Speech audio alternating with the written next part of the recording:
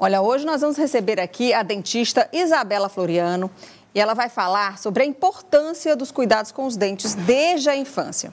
A partir de que idade deve ser iniciada a escovação dos dentes? Quantas vezes ao dia a criança deve fazer essa escovação? E o uso do fio dental, como é que fica? Então, olha, Está aqui a doutora Isabela. Tudo bem, doutora? Seja bem-vinda aqui ao Vida Saudável. Obrigada, Tudo... Sexta-feira e a gente aqui, né, para trazer informações importantes aí para as mães. Sim, sim. Estamos aqui para a gente falar de saúde bucal desde a infância, que imagino que seja algo sempre com muitas dúvidas, né, entre as mães, entre as famílias. Bom, a sua especialidade é justamente essa a odontopediatria, não é uhum. isso? E eu queria que a gente começasse, é, eu como mãe, assim, quando eu tive meu primeiro filho, dizia que eu tinha que começar a limpeza, não dos dentinhos, mas a limpeza da boca do bebê já ao nascimento. Por exemplo, quando já tomava o leitinho, né, mamava, é verdade isso, doutora Isabela? Olha, Neyara, a ciência é dinâmica, né? A gente sempre está evoluindo e os estudos sempre né, nos colocam em, nos atualizam. Então, hoje, a ciência nos mostra que a gente não precisa começar a limpar a boquinha do bebê desde antes dos dentes, né? Então, a, na verdade, a gente tem que começar a escovar a partir do momento que a gente tem o primeiro dente na boca. Então, nasceu o dentinho no bebê mesmo, seja só um, aquele pequenininho.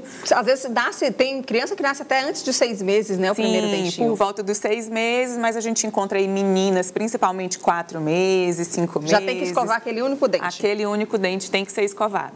E como é que deve ser essa escovação? É com a fraldinha, com a gaze ou com a escovinha? A gente tem algumas formas, né? Eu gosto de dizer que a família pode escolher ainda nessa fase. É, pode ser a própria escova, né? Uma escovinha pequena. Vou já já até mostrar uma. E, ou então uma fralda, né? Uma fralda só para isso. Enquanto for só os dentinhos da frente, pode ser uma fralda só para a limpeza desses dentes e sempre com pasta de dente. Né? Então, mesmo com um dentinho só, como eu falo no consultório, suja a escovinha ou a fraldinha e vai lá para limpar os, esse dentinho que está na boca do bebê. E a pasta de dente deve ser um creme dental infantil? Um creme dental infantil com flúor né? Mesmo sendo um bebê que ainda não tenha contato com o açúcar, né? Que tem uma amamentação exclusiva ou uma alimentação né, bem acompanhada, a gente precisa, todos nós precisamos do flúor na nossa cavidade bucal, na nossa boca, para ter proteção contra cárie, desde o primeiro dente na boca. Olha, produção, começa a soltar aí as imagens que a gente selecionou aqui, por favor, para a gente ilustrar essa nossa conversa. Olha aí, é um bebezinho já escovando o dentinho. E essa escovação, doutora Isabela, ela tem que ser de que forma a escova? Como que deve passar? Vamos pegar a escovinha que está aqui do eu lado? Eu trouxe uma sem conflitos Foca de aqui, interesses. Então, eu trouxe uma escovinha de bebê. É, Tem que ser macia, Para né? mostrar que, que nem arão, escova de cabeça pequena, tá? Não precisa ser dessa marca. Então, escova de cabeça pequena. É, conseguiu? Ah, Aí. escovinha de cabeça pequena, né? Para para conseguir limpar a boquinha do bebê e um cabo, né, que o pai, a mãe, os cuidadores consigam segurar né, para poder escovar. Então, eu gosto sempre de falar que esse, essas cerdas de cores diferentes, né, que a gente uhum. tem aqui, elas são para mostrar a quantidade de pasta de dente. Então, ah, é? Esse faz... azulzinho aí é para dizer que você só tem que colocar nesse, isso nesse aqui. local? Exatamente. É pouquinha pasta. É pouquinha pasta, é isso mesmo. E como que tem que ser a movimentação da escova? Nessa mesma posição que a senhora está, como é que deve ser? A movimentação, ela tem que ser sempre, é, a gente gosta de falar na frente do dente, como se fosse varrendo, né, o dente para cima. Para cima, isso, né, da base da gengiva uhum, para cima. cima. E, né, depois que nascem os dentes de trás, os molares, né, o movimento de vai e vem, o movimento de trenzinho, como a gente gosta de falar para as crianças. E atrás do dentinho, o movimento tem que ser de que da, forma? Esse Também movimento de, de varrendo, para fora. Isso, da então, na frente, pra... gente, varre isso. para cima. A, aqui atrás também varre, varre para cima. Isso. E aqui os da, da, da lateral, né, da, que dá ao lado das bochechas, é o trenzinho. Trenzinho, tchu, tchu, o movimento tchu, vai e vem, isso mesmo. Então, Exato. vamos lá. Ai, gente, olha, vocês querem participar da nossa conversa? Manda sua pergunta aí pra gente no 86. Eu já peço para vocês, salvem logo o WhatsApp da gente, né? É o 86999 270783. Coloca o 9 na frente, que às vezes eu faço uma confusão desse 9 antes aí, mas é 999270783. Solta aquela fotozinha do, da dedeira que isso também ficou, olha a dedeira, vamos lá. Isso é para escovar o dente? Sabe que essa é uma das maiores confusões que a gente vê, Neyara? muitas mães, pais pensam que isso é para escovar o dente, né? Que essa dedeira, nossa, comprei uma de silicone maravilhosa, encontrei na farmácia. Vou varrer o dentinho do bebê. Vou limpar o dente do bebê. Não limpa nada. Então, ela é de silicone, ela é ótima, tanto que algumas empresas colocam na embalagem massageador de gengiva porque é ótimo quando tá nascendo o dentinho, coloca lá na boca o, o, adulto, né, apoia no indicador e o, bebê vai literalmente mordendo essa escovinha de silicone, massageando. Então é mais um mordedor, não é? Exatamente. Porque a criança quando está nessa fase, gente, ela quer colocar tudo na boca. É. E aí por isso que entra a fase dos, dos mordedores, mordedores de silicone. Então, isso. Então esse é um, para você coloca no dedo, a mãe coloca no é. dedo ali, ajuda a passar aquela agonia de quando está nascendo a o dente. A irritação, né, Exatamente. do bebê que fica muito irritado. Porque Mas coça, é, doutora? mesmo não escova, tá? Não limpa. Uhum. A dedeira não limpa, tá? É, coça bastante, incomoda bastante, né? As crianças, os bebês, eles têm esse incômodo, né? Muitos sentem essa coceira mesmo, por isso que ficam com o dedo na boca, coloca tudo que pega na boca para mesmo ajudar a aliviar.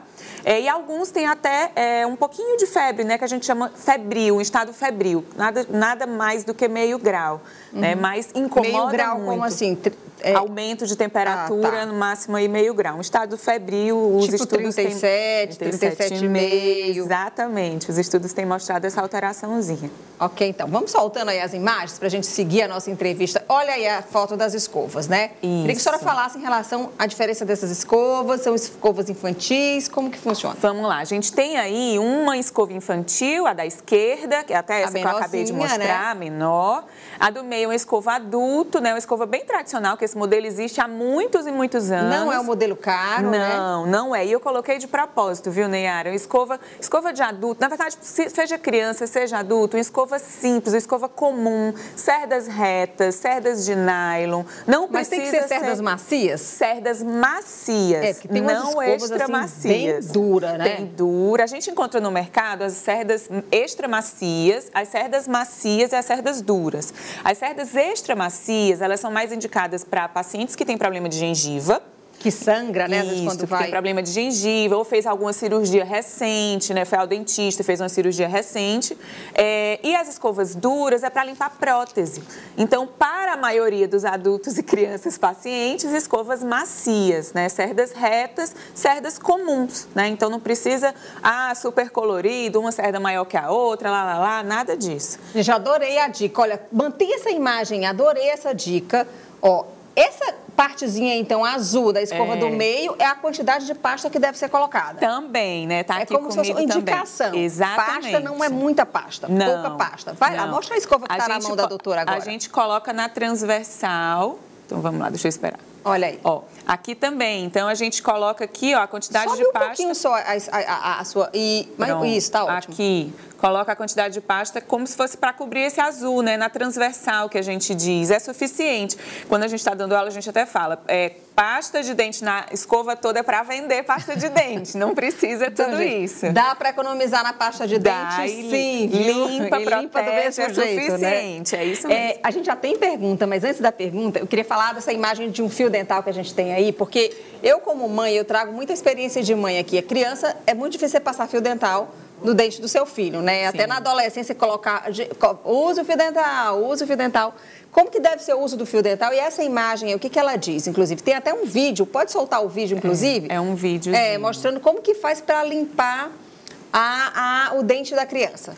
Esse fio dental do vídeo é um fio dental com haste, né? Ele aqui em Teresina chegou até faz poucos meses, era mais difícil de encontrar. É, e é ótimo para as crianças né, e para os adolescentes, porque olha como é mais fácil de usar. Então, a própria criança segura a haste e consegue colocar entre um dente e, outro. E ela deve fazer também esse movimento para frente e para trás. Isso.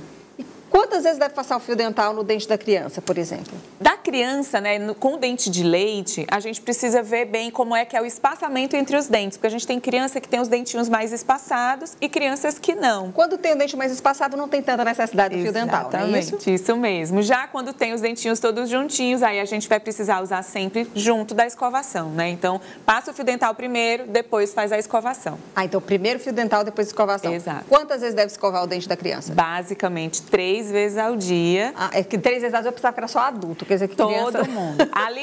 se a gente for pensar, o trabalho. se alimentou, tem que escovar. Tem que escovar. E a gente tenta concentrar nas principais refeições do dia, né? Então, vai da manhã, almoço, jantar. Bom, ó, já tem pergunta, viu, doutora Isabela? Pode soltar a pergunta, gente. Olha, do Vitor Carvalho. Qual o creme dental mais recomendado? Boa pergunta, Vitor. Ótima pergunta. Creme dental, né, para adulto, vai muito mesmo do, do, do sabor, né, do, de como deixa o hálito. Então, é uma, uma escolha mesmo do adulto, porque todos têm, é, os, os comuns do mercado têm 1.100 ppm de flúor, ou seja, tem flúor. O que precisamos que tenha flúor?